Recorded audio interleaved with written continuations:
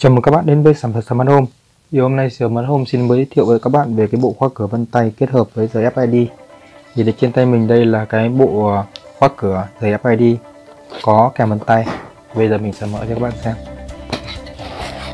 Bên trong hộp thì có một tờ hướng dẫn này, một bộ ờ, khóa vân tay, kèm với nó là phụ kiện nắp dưới và nắp trên.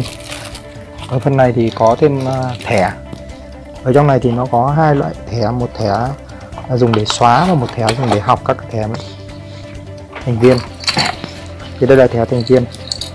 Ở đây các bạn nhìn thấy có hai cái thẻ update card này. Một cái là update các thẻ thành viên và một thẻ là xóa các thẻ thành viên mà mình không muốn mở cửa được. Đấy. đây là phụ kiện của nó. Thì ờ, ở cái phần này thì ờ, trong này nó có cái quy trình và cái cách kết nối của tiếng Trung. Thì bây giờ mình đã Việt hóa, nó thành tiếng Việt rồi. Đấy, thì tiếng Việt thì nó sẽ là cái này. Đấy. đây tiếng Việt và cái sơ đồ kết nối thì nó cũng được à, mình vẽ lại rồi. Đấy. Có vân tay. Điện áp hoạt động là 12V vân tay mình có thể học được là khoảng tầm 1.000 vân tay dung lượng thẻ thêm khoảng 1.000 thì cái này là thông số của nhà cung cấp người ta cung cấp cho mình. Là cái số lượng này thì bên mình cũng chưa thử mắt. À, chức năng chuông cửa này chức năng kích hoạt thủ công này. Đấy. điện áp hoạt động là 12V này. Kích thước thì nó là 155 x 66 x 28 mm này. Đấy thì ở đây nó cũng rất đơn giản thôi. Nó có các cái thẻ thành viên rồi. Hoặc là mình có thể học cái vân tay master, hoặc là vân tay để xóa, để truy cập vào thẻ. Đây. Cái này quẹt vào đây. Còn cái này là cái gá vào gá vào. Đấy. nó có thêm hạn ốc thì mình lắp vào đây.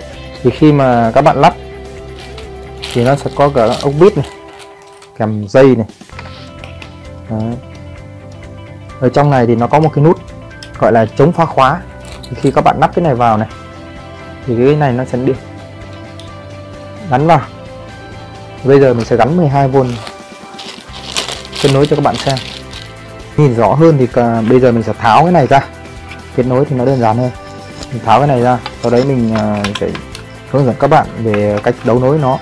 Sau khi đấu nối xong thì mình sẽ hướng dẫn các bạn về cách học các lệnh vân tay hoặc là thẻ đấy sau khi tháo ra thì các bạn nhìn thấy cấu tạo bên trong này. thì ở trong thì nó có cái phần nguồn. Đấy. đầu tiên là 12V GND chân NO chân COM chân NC đấy. còn ở bên này thì là các cái chân uh, như là chân uh, chuông còi. Đấy. Chuông còi chân này. Thì ở đây mình không dùng chuông còi. Ở đây uh, nó có hai nút nút 1 và nút 8 thì uh, nó dùng để thao tác học lệnh. Phần trong này nó còi còi và nút reset này. Đây là module vân tay này. À, module ID thì giấy ID 125 HZ thì nó được uh, làm xung quanh cái vân tay này. Đây là đèn nút nhấn này không có tác dụng. Ở đây thì mình chỉ giới thiệu một số cái chức năng cơ bản khi mà bên mình uh, uh, view thôi. Còn nó có rất, rất nhiều chức năng nhưng mà cái này thì ờ, chủ yếu là khách hàng mua về sau đấy là tự mày mò. Và bình thường thì bên mình ờ, sẽ làm một số cái ứng dụng như là uh, mở khóa cửa bằng vân tay mở khóa cửa bằng thẻ hoặc là học các thẻ thành viên hoặc là các thẻ vân tay thành viên. À. bây giờ mình sẽ kết nối này. Nó có hai hàng dây này. Các bạn có thể cầm cái sơ đồ này lên và xem cách kết nối như nào đấy đây là điện áp 12V này. Phần khóa này phần khóa thì dương khóa sẽ được uh, nối vào NC này. Còn uh, âm khóa được nối vào GND ok. Bây giờ mình sẽ dùng một cái khóa khóa điện kèm chìa. Ở đây mình đang dùng cái khóa điện kèm chìa. Nó rất là nặng. Khóa này thì uh, nó kích hoạt mở khóa bằng uh, điện áp 12V cuộn hút và nếu trường hợp mà mất điện thì các bạn có thể dùng chìa khóa của nó để mở. Thì cũng được. Đây phần trong này. Thì nó sẽ có khóa này, phụ kiện, cái này phụ kiện thôi. Thì hôm nay mình chỉ hướng dẫn các bạn về cách đấu nối nên mình sẽ không đi sâu vào cái phụ kiện của nó làm gì. Còn các bạn biết là nó sẽ có chức năng có thêm khóa, chìa khóa để mình ấy thôi. Chìa khóa này. Đấy, đây là chìa khóa của nó này. Phần khóa này. Đấy. mình giới thiệu để, để mình uh, hướng dẫn các bạn kết nối thôi. Đây thì cấu tạo khóa điện nó cũng rất là đơn giản luôn. Chỉ cần uh, đưa cái nguồn này vào 12V tức là cấp nguồn 12V vào đây thì cái khóa nó sẽ tự động hút lại. Đây ở đây mình sẽ test. Chạy 12V trực tiếp cho các bạn xem. Nhiều bác uh, à, chưa biết cấu tạo và ứng dụng hoạt động của khóa nên là cứ bảo là nó sao nó không hoạt động? Thì uh, nếu muốn hoạt động thì các bạn đầu tiên cấp nguồn này cấp 12V nhé. Thì nó chỉ nghe tạch tạch thôi đây này. Khóa sẽ không hút vào nhé. Đấy. Thì ở đây nó có cấu tạo thêm một cái cái đầu này để nó phát hiện mình đang khóa tức là mình đang đóng cửa này. Thì lúc các bạn đang đóng cửa thì khóa này nó có tác dụng là hút vào. Đây ví dụ như bây giờ mình đang đóng cửa nhé thì nó sẽ cái này nó sẽ nằm như này, đúng không thì cái này nó chốt này nó sẽ được được thò. Ok chưa? Sau đấy mình sẽ cấp nguồn 12V vào cái chuông khóa này. Thì cái đầu hút nó sẽ được hút vào. Đấy. Đấy. Được chưa? Khi hút vào rồi thì mình sẽ mở cửa ra. Đấy, thì khóa nó rút ra. Tương tự với cái núm xoay trên à, ở trên cái cấu tạo của khóa thì cũng thế. Các bạn xoay nhẹ rồi nó sẽ tự động hút vào và mở cửa ra nó sẽ tự mở ra. Đấy cấp 12V vào đây. Chọn. đấy là cách nó hoạt động cấu tạo hoạt động. Thì bây giờ mình cũng đơn giản thôi mình đấu cái khóa này vào trong cái khóa cửa vân tay. Đấy, vân tay nó rơi chưa thì ờ, khóa vân tay này thì các bạn tuốt cái dây này ra. Ở đây nó sẽ có dây 12V này đúng chưa? Dây đen là dây GND rồi. Thì à, như cái sơ đồ của mình thì là cấp 12V vào bộ khóa cửa điện tử và phần NC NO thì ở đây khóa đang được cấp vào chân NC thì mình uh, thực ra NC NO com là cái chân thường đóng thường mở của khóa của của con relay thôi. Nên là các bạn à, nếu mà đấu vào À, uh, NC không được thì mình đấu vào NO cái này nó cũng không ảnh hưởng. Vì nó là chân thường đóng thường mở thôi. Ở đây mình uh, sẽ đấu vào à, NO đi. Một giây của khóa nó vào âm. Đây. Đây này cho các bạn nhìn. Một dây của khóa này. Đấu vào âm nguồn này. Bởi vì cái cuốn hút của cái khóa điện thì nó không phân cực chiều âm dương nên các bạn không cần phân biệt chiều. Chưa?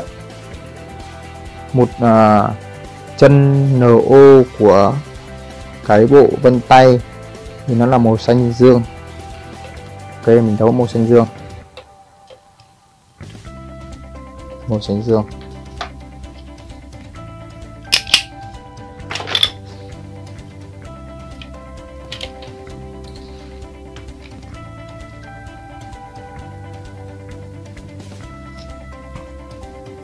Chân com. Chân com. Đây chân com đây. Sẽ được nối vào VCC thì khi mà chân com là chân xanh xanh lá thì khi mà cái cái à, mình sẽ quấn cái dây này lại cho nó không bị vướng vào không có mạch. Đây khi mà com khi mà mình nhấn vân tay thì uh, com và no nó sẽ thông nhau. Đấy thì ờ, uh, NO mình đang đấu vào khóa thứ hai và con mình đang đấu với VC vậy thì khi đấy thì khóa này nó sẽ được cấp dương nguồn 12V thì khóa tự động.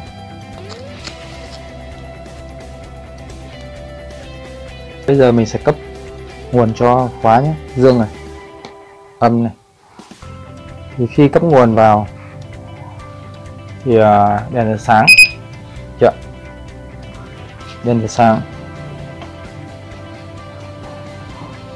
Ở đây mình à, ví dụ như mình thử vân tay đi, nó sẽ báo sai. Đấy. thì các bạn à, có thể quét thử một số quẻ thành viên này. đấy, khóa cửa đã hút vào rồi đấy. Và một thời gian delay, nó sẽ tự mở. Bây giờ mình sẽ thử chốt cái khóa này vào nhé. Lúc này mình bảo cái cấu tạo khóa bây giờ mình sẽ quét thẻ thành viên này. Đấy.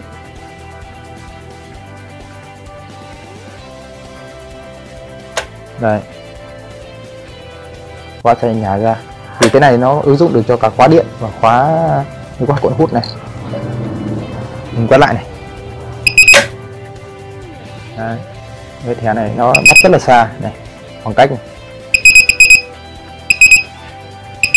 rất là xa. Đấy. thì uh, cách học vân tay nó cũng đơn giản thôi.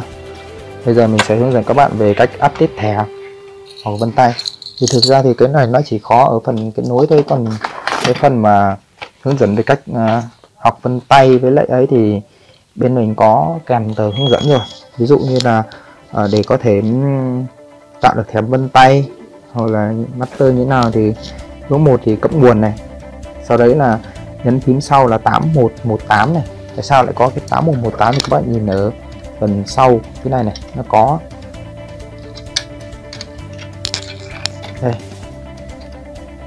đây này số này 8118 chính là hai cái nút này, này.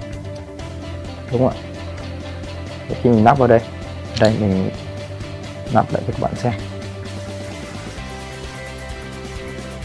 Đấy.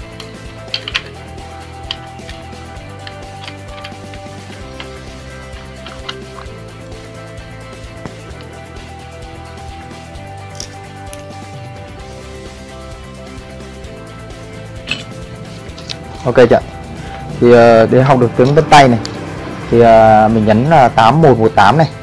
Được chưa mình thử nhấn nhá. 8118 này. 8118 dạ nhấn xanh nó nhanh nhanh này. Thì mình nhấn 3 lần vân tay vào này. Kêu tít là được. Hai này. Ba. Đây là ngón nhanh nhá. Các bạn nhớ ngón tay mình này. Đấy. Sau đấy tiếp theo này.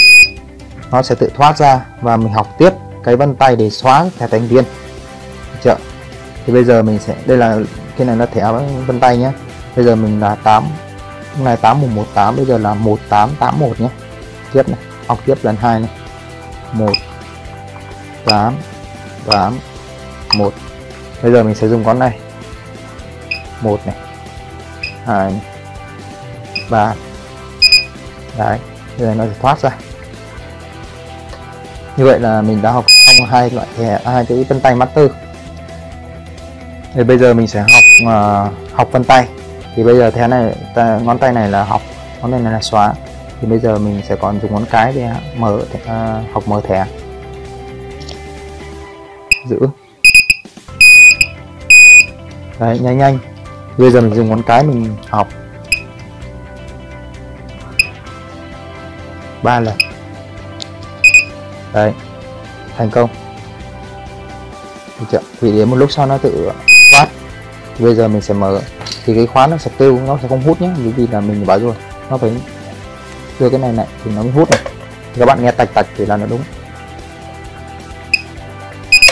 Đấy. Ok chưa? Thì đơn giản hơn mình sẽ mở cái khóa này ra cho các bạn xem.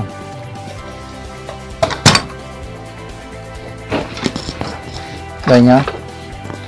Khi mà mình uh, đưa vân tay đúng này thì cái cuộn hút nó sẽ được hút lại. Các bạn để ý phần cuộn hút nhé đây, vân tay đúng này.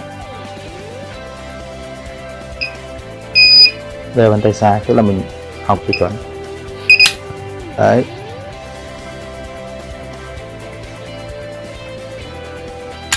Khoảng 5 giây cuộn hút sẽ được tự động thả ra. Đấy. đây. Được chưa? Các cách về học thẻ thành viên hay vân tay thì nó cũng thế cả. Nó đều giống nhau cả. Đấy. nó đang à, mở nên là quẹt thẻ tiếp nhưng nó không có tác dụng. Đấy. bây giờ mình sẽ học cho ngón út có thể mở cửa được. Đây, ví dụ như ngón này là sẽ là ngón. Đấy, nó nhanh nhanh. Ngón hồng mà. Bây giờ mình cho ngón út vào lần. Hai lần. Ba lần bốn lần được. Đấy. Thì sau khi được nó sẽ tự, tự động thoát. Bây giờ mình sẽ dùng ngón út để mình mở cửa. Đây. Được chưa? Tiếp đến thì mình sẽ hướng dẫn các bạn à, về cách xóa. Thì ngón tay này khi nãy là mình là dùng để xóa. Thì bây giờ mình sẽ dùng cái ngón tay này là ngón master để xóa các cái ngón tay vân tay thành viên. Đây. Thì mình dùng ngón cái là một này. Đấy. Ba lần thành công. Thì xóa được thì khi mình mở vân tay thì nó sẽ không có tác dụng. Bây giờ mình thử vân tay mở cửa xem có mở được không nhé đấy. Nó sẽ không mở được vì là mình đã xóa rồi. Nhưng ngón út thì sẽ mở được. Đấy đấy là cách vân tay. Thì uh, phần cấu tạo ở bên này nó có một phần SD để lắp uh, thẻ nhớ. Nhưng mà cái này thì mình khi mình lắp vào thì nó cũng chỉ học tức là nó lưu lại dữ liệu của vân tay thôi. Nhưng mà mình khi mình tháo ra thì nó vẫn có thể nhớ được nên là mình đoán thì cái bộ này nó sẽ lưu vào EEPROM của cái cái cái con chip trong này. Thì khi mất điện nó sẽ tự lưu vào. Đấy. bây giờ mình sẽ thử mất điện đi nhé. Mất điện đi. Sau đấy là dùng ngón tay út. Ngón tay mà còn vân tay để mở cửa thử xem. Đấy, thì nó vẫn lưu được bởi vì là cái thẻ đêm mình chưa lắp thì chứng tỏ là nó đã lưu vào EEPROM của chip. Thì đây là cái khóa điện 12V thì vừa rồi mình vừa với hướng dẫn các bạn về cách học lệnh vân tay cái uh, bộ khóa vân tay RFID 125 MHz thì cách học về vân tay và học thẻ master thì nó đều giống nhau cả. Thì có trong quy trình rồi hôm nay mình chỉ giới thiệu qua thôi.